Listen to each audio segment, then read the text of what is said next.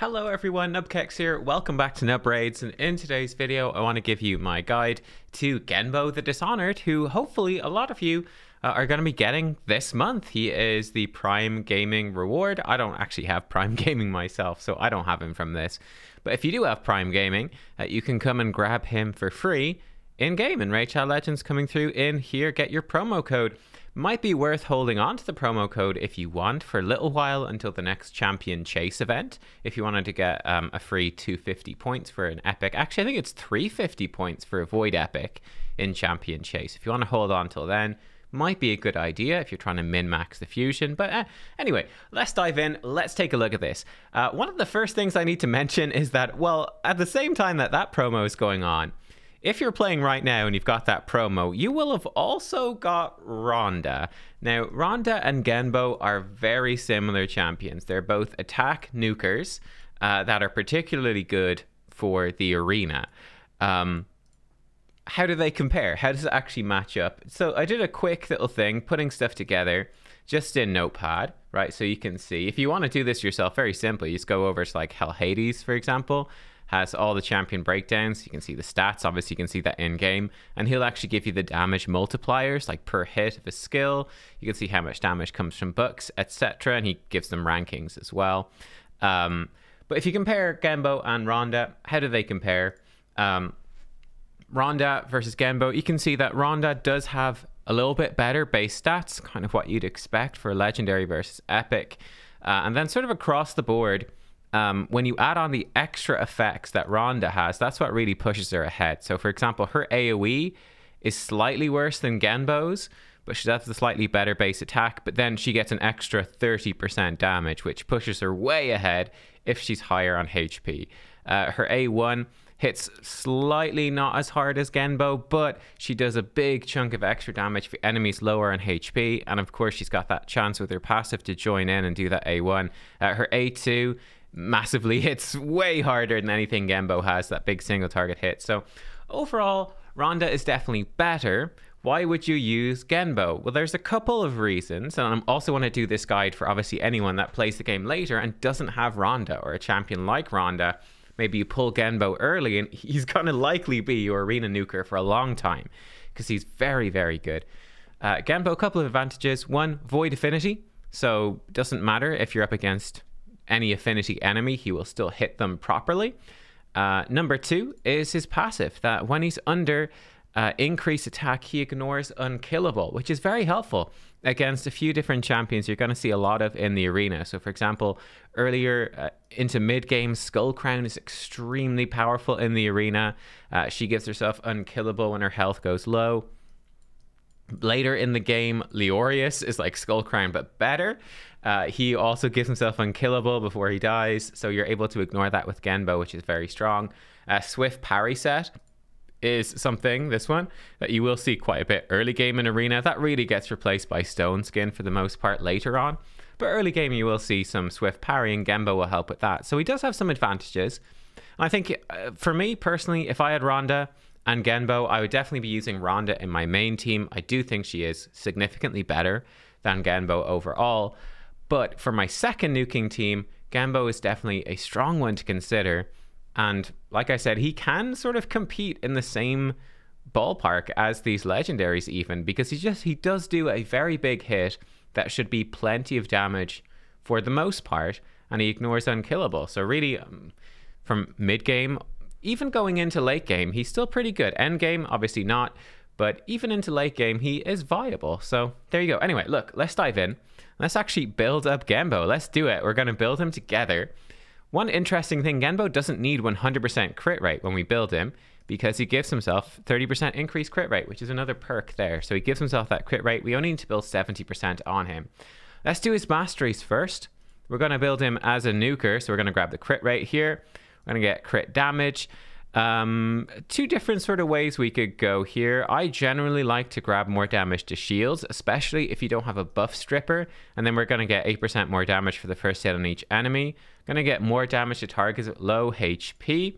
You can alternatively, you can alternatively come over here and get 5% more damage at max HP and get Whirlwind of Death. Now that's going to be probably a stronger option uh, if you don't have um, if you do have a buff stripper. So if you are going to be able to strip off the enemy shields, it's probably going to be better. And that's probably the way you're mostly going to run him. I'm going to run him like this, which is sort of generally good. Um, you could go either which way, though. Next up, we're going to get him, obviously, uh, more damage when attacking targets at higher max HP. You're going to get him kill streak. And we're going to get him Helm Smasher, which is our best arena damage mastery. Now, this is where it gets interesting. Obviously, if you've... Um, uh, gone this side and this side, you, couldn't go straight to bring it down. You would have to get Wrath of the Slain, which isn't super useful. By doing this build, you could grab uh, more damage to targets that are CC'd, which is very good. That's typically what I would be grabbing here if we're going to run him with a crowd control champion, which is a very strong option. So I'm going to grab that one for now. Then we're just going to come over here to the defense tree, make him a little bit more survivable. It's not going to help you much but it's something. So a chance to lose a debuff if he gets hit hard. He's very squishy, so that's decent. And then we'll get him a counter attack. And uh, again, I would probably be getting him Stoked to Fury here, which is going to give you more damage for each debuff. You know, if the enemy does cut in and get some debuffs, it's kind of decent. You could also get Deterrence. Sort of up to you.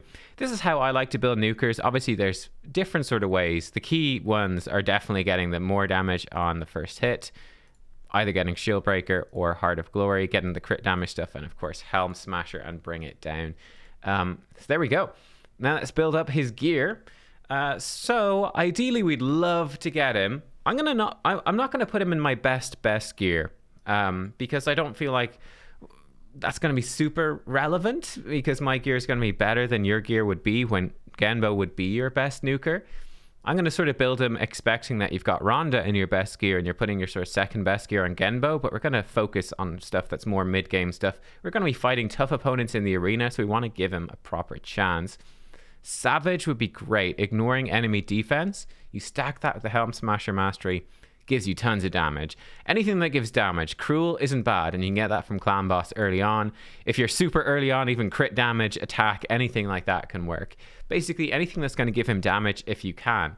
Um, I'm going to break that rule a little bit. So we're going to, I think, do a broken set because I was having a quick look at this earlier. We're going to start off with crit damage gauntlets. I think that's very important, right?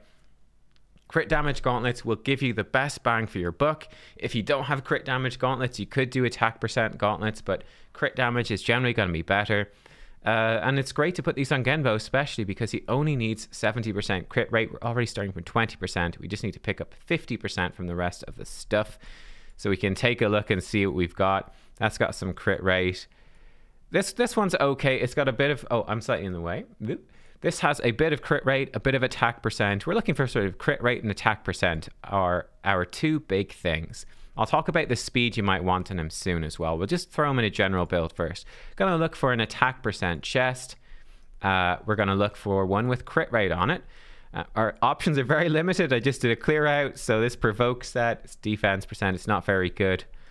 Um, this one's probably the winner. Yeah. So we'll go. Well, this one's not bad either but it's only five star. We'll go with this one. It's six star. We've got some crit damage. We've got some crit rate, attack percent. We will roll it up, and there we go.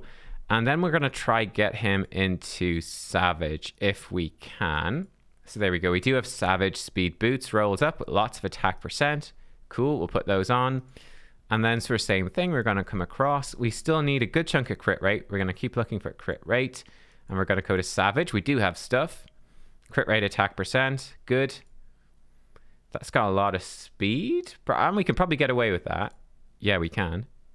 Uh, we could we could probably get away with any of these. I don't have a head. Okay, we're gonna have to steal a head piece. Hang on. Let me go equipped. Let's see what we've got in Savage. Um, not much. I don't use her. Speed, crit damage, that would work. This one's got a lot of crit rate. Attack percent, crit damage. Let's steal off Dark Elhain for now. We've got too much crit rate. Let me see one of these other ones. That's even more. That's a little bit less. We lose some speed. This looks pretty okay. Um, let me see. This would give us a good chunk more speed, more crit damage. We lose a lot of attack. I think this is this is fine. Yeah, I think that's fine. So we're slightly overkill on the crit rate. Uh, we could actually change the mastery to an attack mastery, right? That starter mastery if we wanted. But I think this will do. Um, oh, wait, this loses defense. We lose a lot of speed. We probably don't need too much speed. This gives us a good chunk more crit damage. I'll, I'll keep the speed. This is more general thing. 170 is what I kind of like to aim for. This is a fine general sort of build. Let's throw this stuff on. That's a fine general build. Then for his accessories, let's go fitting room. And we're going to be looking for attack with attack percent substat on both the ring and the banner. Let's see. This one, it's rolled badly. That one rolled very badly. We do have, this one will be perfect. I'm actually going to roll this straight up to 16. You don't, I wouldn't recommend doing this. I'm rolling this. Hey, roll well because this is, um, it's a reaction ring, right? That chance to turn a, nor- a crit into a normal hit. So that's amazing. I'd roll that anyway. So we're just going to do it for the sake of the video. Let's take a look here. This looks pretty good. Normally I'd roll stuff up to 8, see if it rolls well. Double roll into speed. Okay. And uh, 2 into flat HP. That's what I get for rolling it all at once, huh? Um, let's just see if we get more rolls into attack. It doesn't really matter. We could always change a piece of gear uh, to make room for... That's fine. You know, let's just give him this this thing. I don't want to waste all my silver. He's getting actually pretty quick now. I might want to drop his speed a bit. Not essential, but I might want to. Then we're going to go into just, uh, oops, excuse me, substats doesn't matter. We're going to go for crit damage on the neck. We've got one rolled up. That will do just fine. There we go. Great. Um, so he's actually pretty quick. he's pretty quick. We might want to change this. One thing you could do, you, you could potentially change him into attack percent boost. Let's see if I've got any. Try not to spend too much time here. Attack percent. That's a terrible one, unfortunately. Uh, we lose a lot of speed there. Um, yeah. Okay, let, let, me pause it back. I'll, I'll be back real quick. Might tweak a piece of gear. I won't make you watch it. Be right back. Okay, this is what we'll do. We'll actually switch him into that rare shield we had, uh, which is going to drop his speed a good chunk to something more like what you would have, and actually gives us some more crit damage, which is pretty nice. We'll throw that on, and we will just fully roll up at least these gloves. Oh, spending so much silver for this video. Give it a thumbs up if you enjoy this, this gearing process. Spending my silver. There's no events on right now, but we've got silver to spare. Oh, that actually gave him more speed. Hey, look, that actually works out well. We won't put glyphs on, but he's got 5,000 attack now. 252% crit damage. He's going to hit really hard. We've got a bit too much crit rate. Like I said, swapping this mastery right here would be great. But hey, look, that's good. If I glyphed him up, he'd do more. But let's, let's say almost no glyphs on the gear. This one has some. Okay, nothing too important. That sort of compensates for the Great Hall, at least a little bit. Um, but yeah, there you go. So the masteries, the build, they're good. Now, let me mention speed. And let's throw together an arena team. So, let me come over here. And I saw there were some fun teams we could potentially attack in this particular squad. Uh, that could be tough. Uh, some very tough ones. But like, let's hit this big defensive team first down here. And we're going to go in with a team like this. So uh, if we go over to the uh, bloop, over on Deadwood Jedi's website, so deadwoodjedi.com slash arena dash calculator slash, um, you do need to be a member, so you need to uh, sign into your account over on Deadwood Jedi. Make it, I think it's a free account and sign in. Pretty sure. But this is an arena calculator where you can speed tune your team. So I can come in, for example, and my arbiter is running quite quick nowadays. Well, reasonably quick. Some people have a lot more, but you can go in. I could put in my fastest champion. So I'm going to have an arbiter, right? We're going to say we've got the arbiter aura. I will show you different teams as well. Uh, arbiter is going to open with her A3. Uh, you could you could put in other stuff. You could put in like meter booster. That's fine. We can put in everything lore of steel. Um, believe she has three speed sets. And then I'm going to use Arbiter Turn Meter Boost with increase attack. I'm going to have a Lyssandra come in next with increased speed and more turn meter. We're going to have a Madame Serris come in, strip their buffs, put decrease attack, decrease defense. And then we're going to have Genbo buff himself and hit them with this nuke. So that's how this should go down.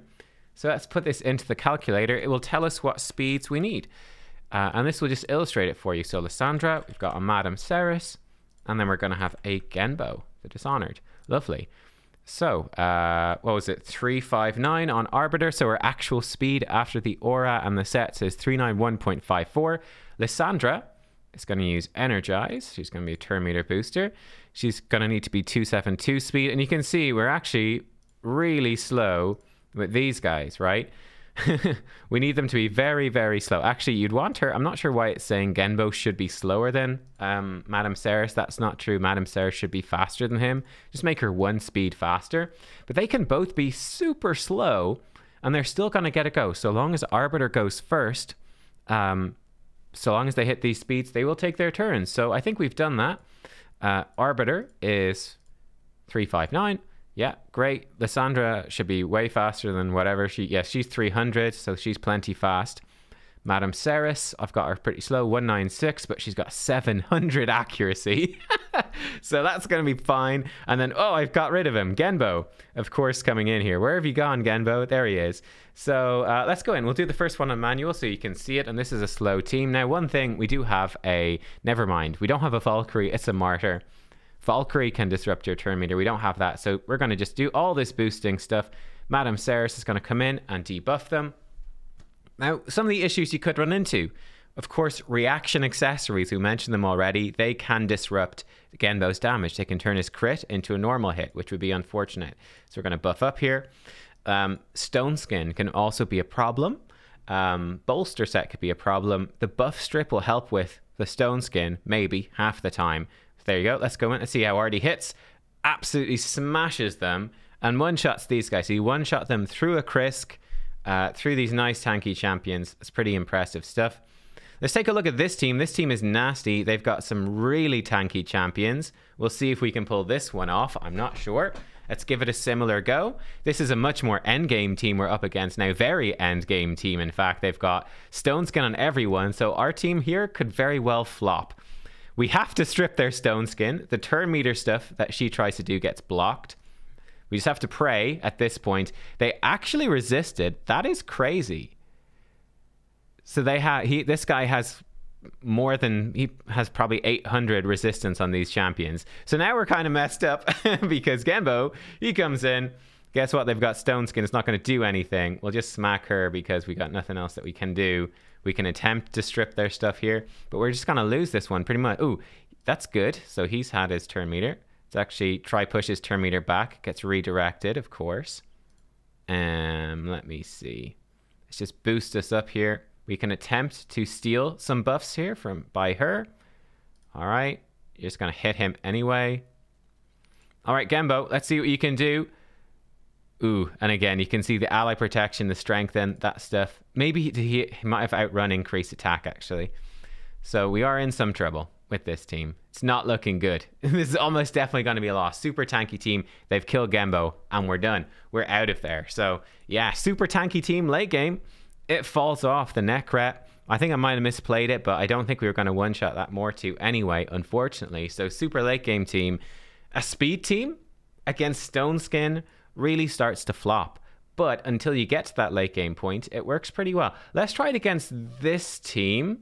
Um, let's do it full auto. I'm curious. So what I'd be loving to see would be to hit through the unkillable of this guy. They could still have, they don't have any stone skins. So that gives us a chance. Let's see. We debuff some of them. Genbo comes in.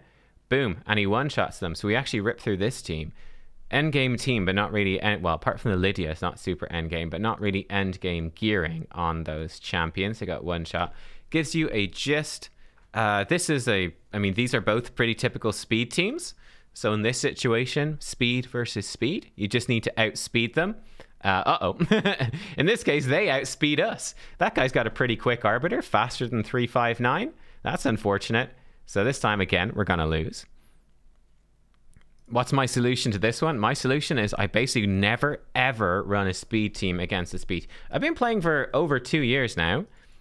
And just because people have been playing longer for me or people that are going to buy packs in the shop, they can be faster. I never run a speed team versus a speed team. It's just not something I'll do because it's just not worth the risk of losing. I just use Stone Skin. just cheesing with Stone Skin.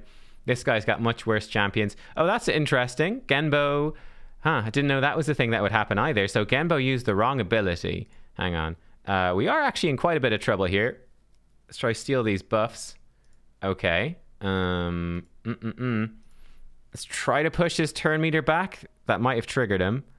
Oof, that's really bad. So Genbo, for whatever reason, we need to set up a preset. Interesting. Good to know. Genbo just didn't do his move, so you'd need to set up a preset. So we come to recently used. Boom, boom, boom. Uh, she's in the vault. So we'd have to come in, set like this. So you just open with that. Uh, uh, you can just open with energize. So you do one, two, like so. Madame Serris. Actually, good idea to set up a preset for Madame Serris as well. Just set up a preset so they always do the right moves, basically. Genbo didn't kill them because he didn't give, give himself increased crit rate, increased crit damage. Good job, Genbo. we'll go again. It's my fault. Genbo, it's not your fault. It's me. I didn't I didn't tell you what to do and you did the wrong things. There we go. He does it right and he one-shots them. So that you'll win the speed race. All right, that's one sort of team. Let's think about um, a different sort of team. Let's look at an earlier game team. Like this team is a bit weaker, and we actually have the Leorius for some unkillable stuff. Let's stick with the preset. So let's do this without legendaries. Um, let's go by rank. Uh, you can use you can use Genbo's Speed Aura. It's definitely something you can do. We'll keep the Madame Serris in there because she's really strong. She'll give us a chance to win. Who would we maybe use? Um, where is Genbo? Genbo, Genbo, Genbo. Uh, he doesn't have any awakening yet. So there we go. He'll fit in there. Let's stick in, let's say a Seeker. Seeker's going to be great here. Seeker's going to come in. He gives us turn meter fill, increase attack. That's going to work well. And then some other turn meter booster. You could use an Apothecary. I don't know if mine has gear on at the moment or where he is exactly. Apothecary. I'm blind, can't see him. Where is he? level 35, that's why I couldn't see him. How fast is he? He's 270, he's a little slow. Let's say early game. This is something that you uh, might use, though. Yeah, looks pretty decent early game. So you'd come in, Apothecary open with his speed thing. Seeker is going to give us the increased attack. You basically you want someone with increased attack for Genbo. Genbo boosts himself up. He's going to do his nuke. Madame Serris is still going to do her strip. So it's the same idea, just our speeds are way lower. Uh, we might get outsped here, but um, we should hopefully be fairly safe. And yeah, we still have that advantage of hitting through the unkillable with Genbo, and he should still hit hard enough to disrupt the enemy team. So we get our speed stuff. He's going to go in and hit him. That's fine, I guess. She's going to strip off their buffs. Genbo goes in, and boom, he nukes them and he kills them, right? He hits them super hard. He does the job and you don't have to worry about affinity. You don't have to worry about Leorius unkillable. It's going to work just fine. So it's very similar. It's the same idea as the last team, just Arbiter is a better Seeker and uh, is a better Apothecary. It's the same sort of concept, um, but that works just fine. Or again, uh, well, we can't use against that team. They're faster. Um, let me see. Oh, there's a Genbo. Someone actually using Genbo late game. It's just Arbiter and a bunch of nukers. I love it. That's hilarious. Uh, let's see. Let's see. Um, we might just get outsped by, well, we won't get outsped by these guys. So let's come in. Another sort of team you could use, you could use with crowd control. Um, well, we could, yeah, we keep her in there. That's fine. So we'll use our Arbiter.